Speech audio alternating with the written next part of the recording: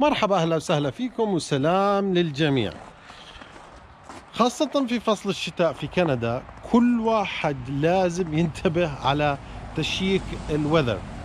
الطقس آه، بتغير كتير درجة الحرارة أحيانا بترتفع أحيانا بتنزل و يعني في شغلات مهمة خاصة شو تلبس اليوم شو تلبس الأولاد هذا مهم جدا. عشان هيك في عندنا موقع مشهور في North America اسمه Weather Network Weather Network أو آه، آه، شبكة الجو.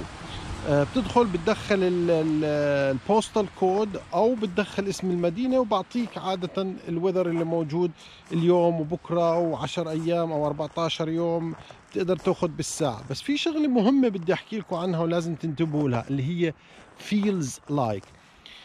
المشكلة هون في الهواء خاصة لما يكون بارد اللي هي عامل الرياح. عامل الرياح لما تكون في رياح عالية الجو آه، بتكون درجة الحرارة مثلا تحت 30 تحت الصفر بس feels like 50 يعني حورجيكم الآن بعض الشغلات اللي موجودة في أدمنتون آه، كانت درجة الحرارة 30 بس feels like 50 وهذا الشعور لأنه درجة الحرارة مع الرياح بتزيد البرد.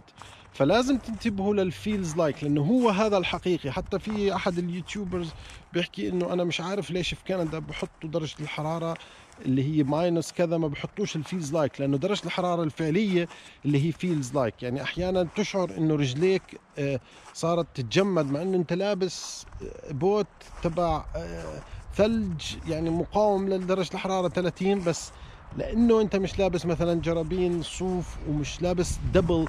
طبعا ال idea أو ال secrets في كل هذا الموضوع إنك تلبس طبقات. آه، إحنا بسموها زي البصل.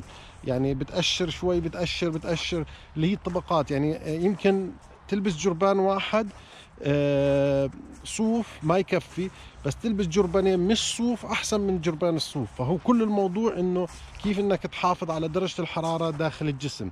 وعادة آه، بيستخدموا شغلة اسمها thermal. thermal هاي كتير مهمة. هي نايلون مش صوف.